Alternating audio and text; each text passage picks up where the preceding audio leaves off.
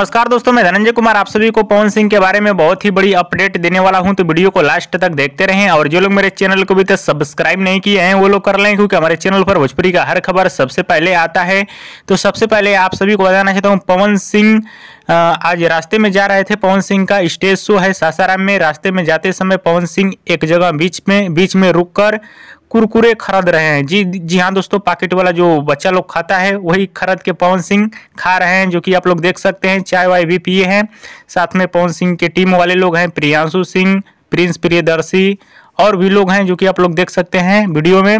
और आप सभी को बताना चाहता हूँ, आज पवन सिंह का बहुत ही बड़ा स्टेज शो होने वाला है सासाराम में। जी हाँ दोस्तों, आज पवन सिंह का बहुत ही बड़ा स्टेज शो होने वाला है सासाराम में, जो कि आप आप सभी को शाम को बहुत सारा वीडियो देखने को मिलने वाला है।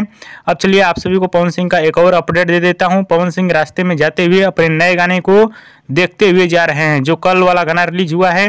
और गाने पे तो अच्छा रिस्पॉन्स नहीं मिला है अब उस गाने में सुधार कर दिया गया है। टाइटल टैग डिस्क्रिप्शन में गाना सर्च में भी आने वाला है। अब इस, उस गाने पे अच्छा खासा रिस्पॉन्स मिलेगा। और उसी गाने को देखते हुए पवन सिंह जा रहे हैं रास्ते में, जो कि आप लोग देख सकते हैं अपने मोबाइल में उसी गाने को देख रहे हैं।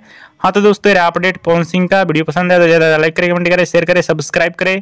धन्यवाद दोस्तों।